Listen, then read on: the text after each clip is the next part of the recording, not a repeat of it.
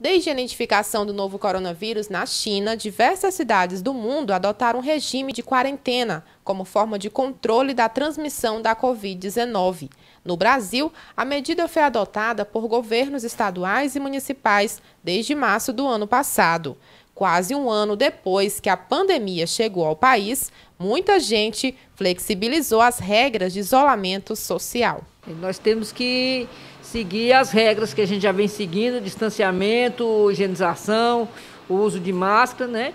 E agora nesse período que é, vai ter as restrições, o comércio vai ter que fechar às 17 horas, é, bares vão ter que fechar às 10 e o shopping vai ficar naquele horário de restrito também. Em Picos, as filas de banco e a feira livre chamam a atenção pessoas utilizando a máscara de maneira incorreta e ainda causando aglomeração. Nós até fizemos uma campanha educativa aqui, distanciamento, fizemos uma campanha educativa, ensinando o uso da máscara de pano, como a pessoa devia, deveria colocar e como a pessoa deveria higienizar. A higienização, como é que a pessoa higieniza a máscara e, e você tem que guardá-la num local fechado, numa, numa, passe com ferro, guarde numa gaveta, guarde numa sacola, deixe ela para você que você possa utilizar. E quando for retirar a máscara, tomar o cuidado para não contaminar a boca, os olhos. O relaxamento com os cuidados de contenção da Covid-19 aumentam a possibilidade de transmissão.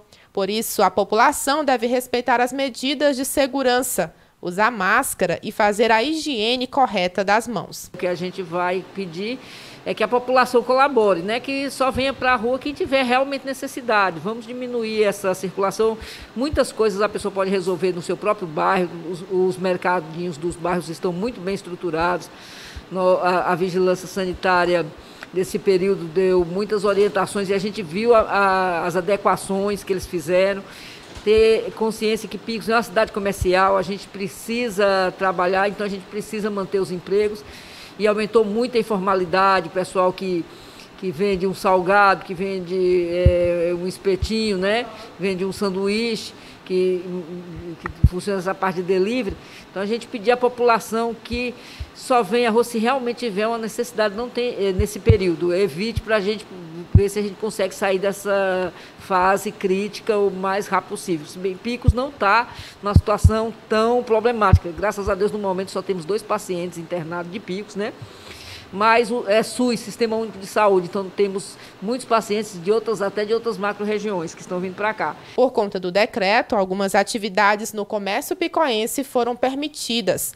A recomendação da vigilância sanitária é sempre haver uma comunicação entre trabalhadores e empresa para que haja notificação de qualquer sintoma da Covid-19. Pico está numa situação estável, mas acontece que nós temos uma população flutuante muito grande e estamos atendendo pessoas de outras macro-regiões.